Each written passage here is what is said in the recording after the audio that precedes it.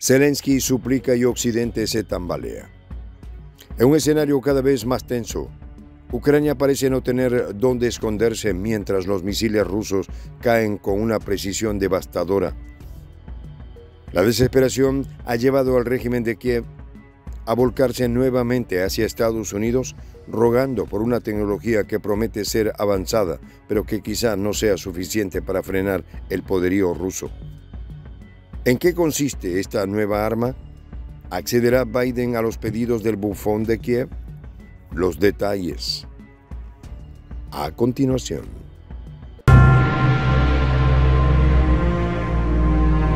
¿Quieres saber cómo se puede fundar la patria grande?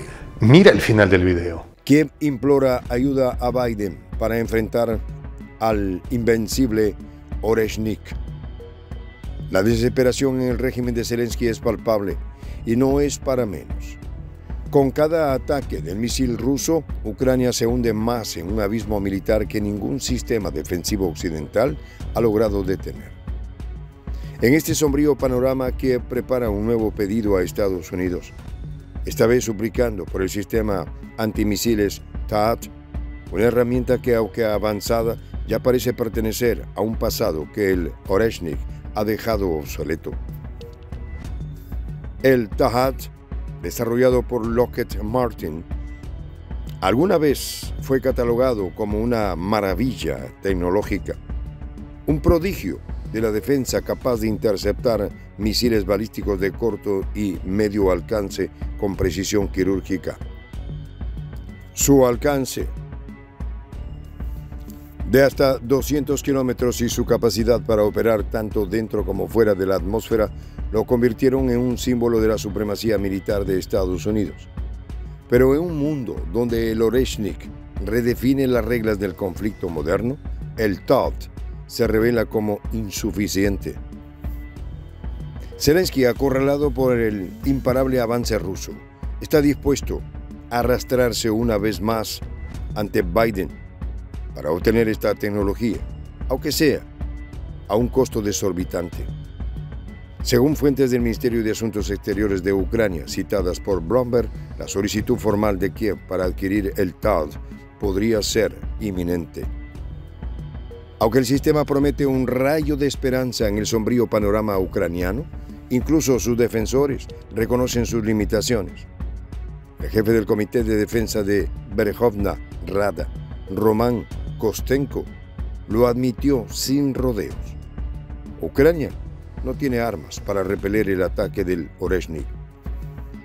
El costo del TAD es tan asombroso como su reputación, entre mil dólares y 1.800 millones por unidad, según datos de la Agencia de Investigación del Congreso de Estados Unidos, Al Jazeera. Cada sistema incluye 95 soldados, seis lanzadores montados en camiones, radares avanzados y hasta 48 misiles interceptores. Estos misiles diseñados para destruir objetivos mediante colisión directa no llevan ojivas explosivas, utilizan energía cinética para desintegrar su blanco. Pero incluso con toda esta sofisticación, el TAD está diseñado para interceptar amenazas tradicionales, no misiles hipersónicos como el Oreshnik, cuyo desarrollo ha llevado la tecnología militar a un nivel que Occidente apenas comienza a comprender. El Oreshnik es más que un arma, es un símbolo del dominio ruso en la guerra moderna. Este misil desarrollado bajo un manto de secreto absoluto combina velocidad, precisión y resistencia a los sistemas de radar occidentales, lo que lo convierte en una amenaza sin precedentes. Capaz de alcanzar velocidades hipersónicas y realizar maniobras impredecibles, el Oreshnik es invulnerable a cualquier sistema defensivo conocido. Según el analista militar Alexander Butrin, el Oreshnik es invulnerable a todos los sistemas de defensa aéreo existentes y puede equiparse con relleno nuclear. El reciente ataque contra la planta de Yugmash en Danipro un símbolo del poderío industrial ucraniano, demostró la devastadora efectividad del misil ruso. La planta que alguna vez fue el corazón de la producción armamentística de Ucrania quedó reducida a escombros en segundos. Las explosiones resonaron no solo como un golpe estratégico, sino también como un recordatorio de que las defensas ucranianas están completamente superadas. Cada lanzamiento del Oreshnik no solo destruye objetivos, sino también la moral de un país que depende cada vez más de promesas vacías de ayuda occidental. El posible despliegue del TAD en Ucrania plantea serias preguntas sobre su utilidad real. Incluso si Estados Unidos accede a enviar este sistema, su capacidad para interceptar los misiles rusos es, en el mejor de los casos, limitada. El TAD está diseñado para amenazas tradicionales de misiles balísticos, no para armas hipersónicas, que pueden cambiar de trayectoria a velocidades imposibles de seguir. Además, el sistema requiere una infraestructura compleja y un entrenamiento especializado, elementos que no se pueden improvisar en medio de un conflicto. Incluso en su mejor momento, el TAD es un sistema de defensa diseñado para otra era, un artefacto impresionante pero inadecuado frente a la revolución tecnológica que representa el Oreshnik. Desde Moscú el mensaje es claro y desafiante. Vladimir Putin, en un tono que mezcla advertencia y seguridad, dejó en claro que Rusia está preparada para responder a cualquier movimiento occidental.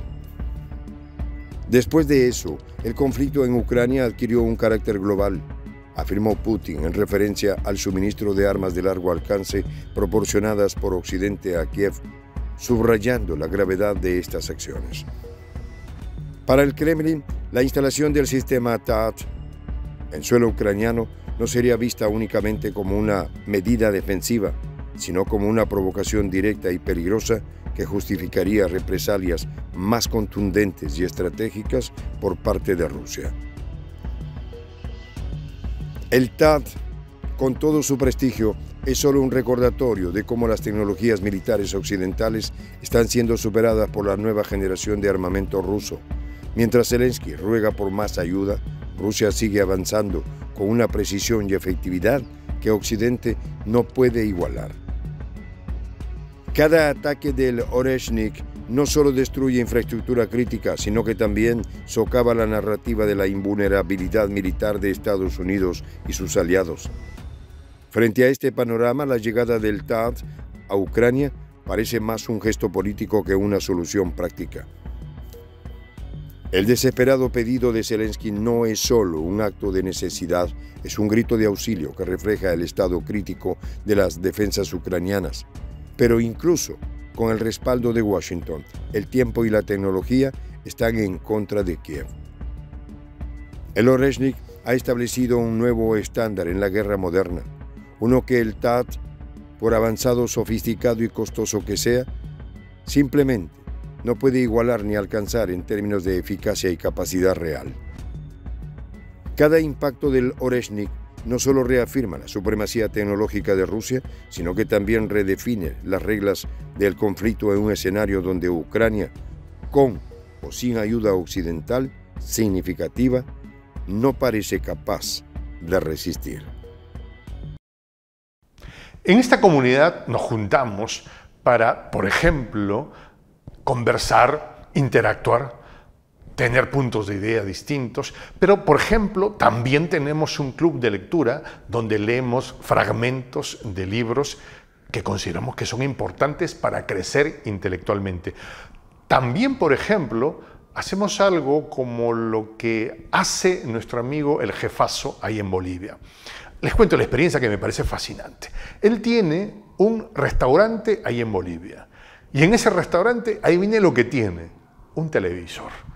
Y ustedes dirán, pero qué impresionante, ¿en qué contribuye que un restaurante tenga un televisor ahí en Bolivia? Una cosa muy importante, porque él, cada vez que abre su negocio, prende su televisor y pone los videos de prensa alternativa. Con eso, todos los días, poco a poco, con pasos muy concretos, él hace que toda la gente que vaya a su restaurante vaya insumiendo el concepto de la patria grande. Y así, pasito a pasito, estamos construyendo la patria grande. Son esos pasos pequeños pero concretos que hacen posible que el proceso de la construcción de la patria grande sea algo que ya comenzó, un hecho dinámico que no tiene retorno en la historia. Y de verdad a nosotros nos gustaría que tú seas parte de esa propuesta. ¿Qué tienes que hacer? Muy simple, dale clic en el botón unirse. De hecho, al hacerlo también contribuirás con una pequeña cantidad de dinero que permitirá que Prensa Alternativa produzca más y mejores videos. De verdad que te esperamos. La patria grande se va a construir cuando tú y yo y toda la gente de buena voluntad de América Latina y el Caribe comencemos a ser comunidad.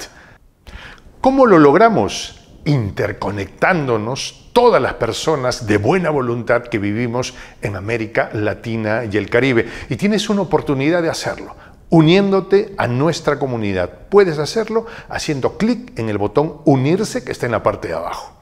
Soy el J, Juan José del Castillo, director del canal Prensa Alternativa. Si quieres ser parte de la comunidad de la Patria Grande, suscríbete a nuestro canal.